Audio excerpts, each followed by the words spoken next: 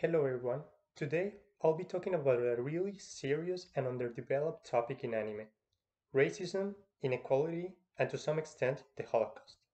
And to that extent, here is a warning that there may be some scenes not fit for younger kids, so take that in consideration before watching this video, as well as some minor spoilers ahead. With that said, let's start talking about today's anime. The cute and moe Centaur's Life. Play the music.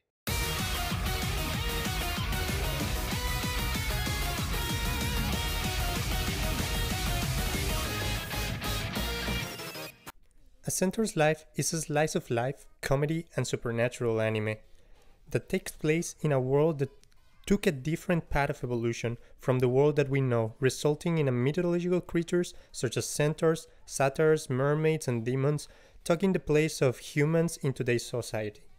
The main story revolves around Himeno Kimihara, a young centaur as she goes around her daily life with her friend and family. Okay, now that you heard the premise, you may be thinking, but Justin, a slice of life comedy? The only supernatural point of this anime is the races. I thought it came here for hardcore topics. Well, yes and no. And to explain this, let's move on to review the anime the good, the bad, and its ending. You see, this anime may be a bit weird for somebody just looking to get some monster girl cute moe action, as the main story focuses around Hime and her daily life as a student. You see her go to school, enjoy her life with friends, participate in school activities, and so on. And trust me, there are still some really cute and moist scenes, such as the little first scene showing a kiss between Hime and her friend, a demon girl Nozomi. Yes, a girl. You're welcome, guys.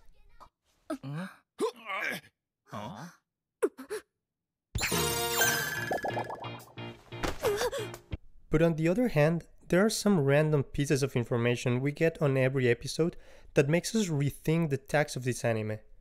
First, we get an explanation on evolution and how the four main groups of humans came to be. Humans with horns, like catfolk, goatfolk, and fauns. Humans with wings, like angelfolk and dragonfolk. Humans with four legs, like centaurs. And lastly, merfolk, and those who live in the sea.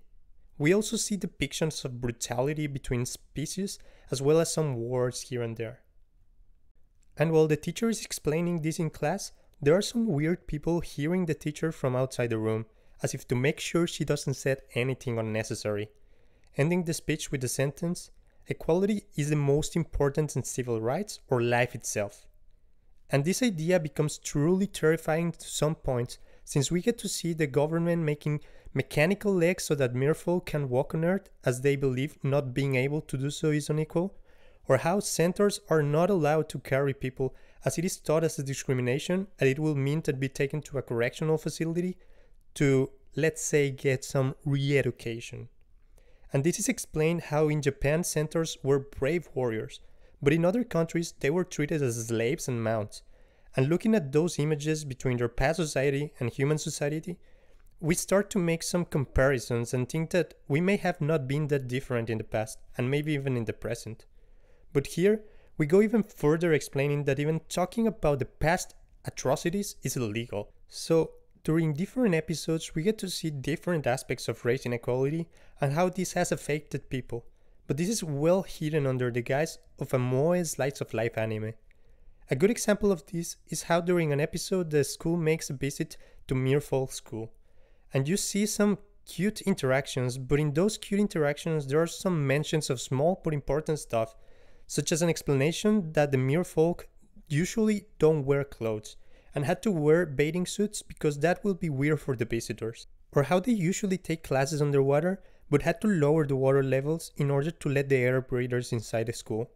So, yes, the show is filled with cute scenes and heartwarming moments, but we also see some weird depictions of cultural differences race inclusion, and the importance this world gives to equality over anything else.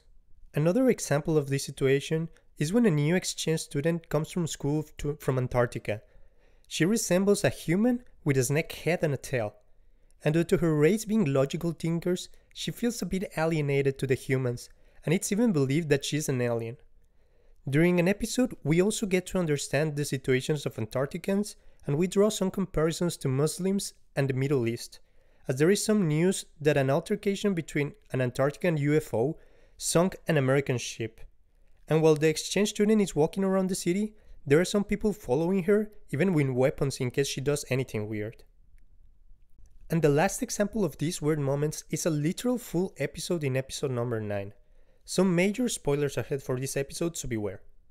So, we see an amphibian businessman visiting Hime's a school, and before that, there are some explanation about his background and how he serves as mediator between mammal-based lifeforms and amphibians, as he sees how his people are thinking about waging war and amassing weapons in the process, which serves as an understanding for all the conflicts raging right now in Africa.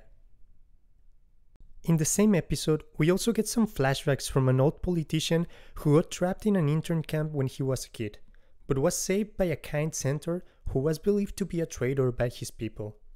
And while he gives hope to the kid, the other prisoners resent him and end up hanging him, just as the Freedom Army arrives to save everybody.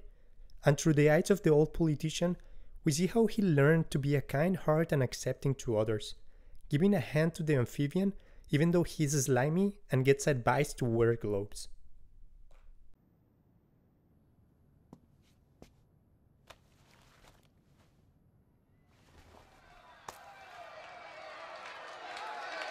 In this episode, I understood that this anime wasn't meant to be just a fun moe anime with some edgy topics here and there, but a real and thoughtful depiction of race inequality and a depiction of what we have done in the past, as well as a touch of dystopian future on what we could have become if we focus too much on being equal and trying to make everyone the same regardless of any special quirks or, traits.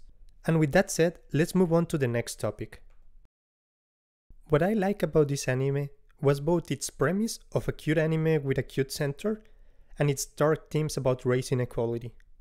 But I would have liked it more if the anime could have decided on just a single topic, as we sometimes get full episodes of Hime being cute with a few moments of these different themes. But then we get the full concentration camp just in one go, with Hime showing just a bit at the end. So overall, I would have enjoyed if, this, if the author could have decided in a single topic and focus only on it, since having two at the same time makes it difficult for the plot to surface and progress. And with that said, let's move on to the last point. So, as I said, with two really different themes in an anime, the topics at hand make it difficult for the plot to progress. And this makes the ending a bit disappointing, as the last episode is about an RPG type of episode that focuses on characters playing a fantasy story, where they fight monsters in a dungeon, and finishing with an arm wrestling competition where Hime wins. To be honest, I would have preferred for the Holocaust episode to be the last, as it would have felt as a cool story to end and a bit of a cliffhanger with the amphibian war looming so they could rally up for a second season. But I guess I will have to enjoy some other cute centaur girls in different shows meanwhile. So overall, the topics of this anime can get a bit dark, but to be honest, it was a breath of fresh air with some topics that are almost never depicted in anime. Oh, and by the way, I forgot to mention this, but there is a literal lesbian couple in the show. Nice. With that said, we get to a conclusion of this anime review. What did you guys thought about the centaur's life? Did you enjoy the different themes that get depicted in this anime? Let me know in the comments below. If you enjoy my content, please like and subscribe. See you guys next time.